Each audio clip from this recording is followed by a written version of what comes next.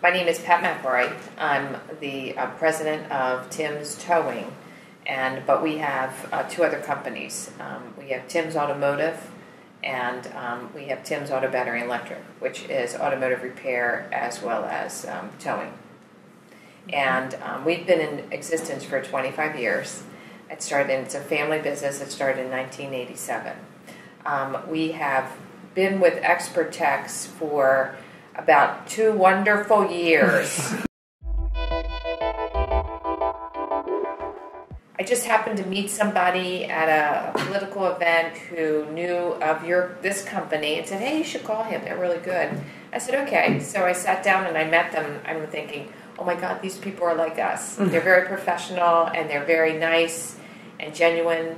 And I mean, right away it was we clicked, you know, and um, it's been awesome just advising us on how to grow our network because of our several locations and some things to do that are more cost effective rather than just doing it because everybody else is doing it. Um, and to really, they focus on us and our business and our software. And in, in our business, when the software goes down, we can't bill out our customers, we can't do anything. And they are mm-hmm. right there, right away you know, talking through the panic. I needed a partner in IT, just like I have a partner in an accounting firm and I have a partner in a benefits firm. I needed a partner that, you know, I could trust that if they're recommending to me a certain thing, I don't have to spend my time going to research and question what my vendor has. That I feel that I can work with people who I can truly be a partner with.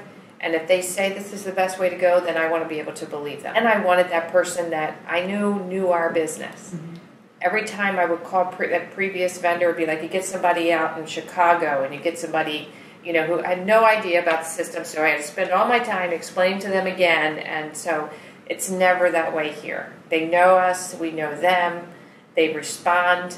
When a, when a unit goes down, they're here, taking it, picking up, and you know, fixing it. Um, because of their recommendations for how we monitor our server, we've been able to get into some marketing programs where um, you know our customer can come right online and review their automotive service history. They don't have to retain those documents; we retain them for them, and that has been a very positive. We're able to do um, email integration with our um, operation software so much more effectively, so that we can email our customers. We do a lot of fleet work, so um, we email them back and forth estimates and things and, and all that. Uh, the way the, the network was structured to have a backup for internet and the like, that has continued things to, to work positively. One thing I would say is professional. Extremely professional, extremely focused. You wouldn't think when I call there that they have any other customers in the world. Okay? And um, my brother can be very demanding because when he wants to get his email, he wants to get it right now, guys.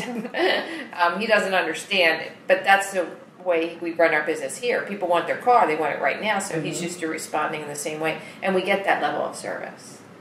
That is awesome to me, and that's what I need.